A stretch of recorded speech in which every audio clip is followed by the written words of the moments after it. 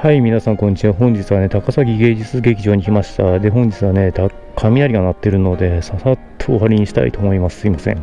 本日ね、高崎芸術劇場に来た理由はこれです。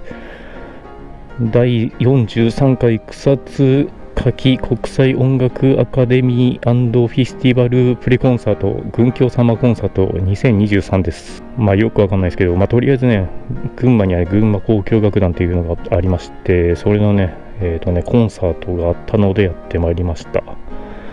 で、チケットはね、安めの2階席のね、真ん中辺を取りました。B, B 席です。でね、B 席なんだけど、うん、2階はね、かなりあれですよ。あの2階だからといって悪くないですね。音が、まずね、この、えっ、ー、と、高崎芸術劇場ね、大劇場なんですけど、まず天井がめちゃくちゃ高くて、やっぱ音響もいいのかね、ものすごい音が良かったですね。で、後ろの、で、えー、と見やすいし、なんかちゃんと段差がついてるんで、前にお客さんがいても見やすいいい席でしたね。さすが高崎芸術劇場の大劇場だけありますね。なので、別にね、B 席だからといってそんなに悪いわけではないので、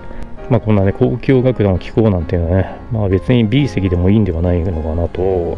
ましてはね、僕みたいにこう、素人の人はね、そんなに勢い込んで前に行くこともないんじゃないかなとは思います。まずね、今回のコンサートの目玉はね、指揮者のアントニー・ビットさんって人がね、なんかポーランドのなんか音楽界の権威らしいので、ものすごいいい人らしいです。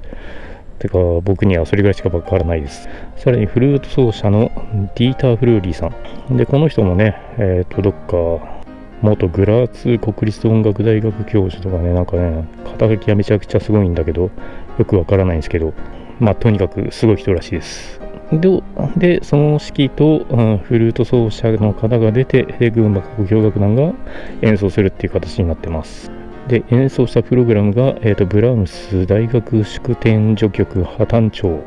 で、モーツァルトフルート競争曲第1番都庁長で、休憩20分挟んで、ドールジャーク交響曲第7番二単調ということで、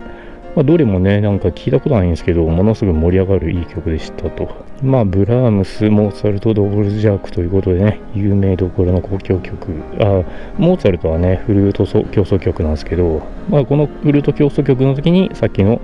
ディーター・フルーリーさんが登場ってことになってます。あとはね、全部指揮者としては、全部指揮はね、このアントニー・ビットさんがやりました。まあ正直ね、もう、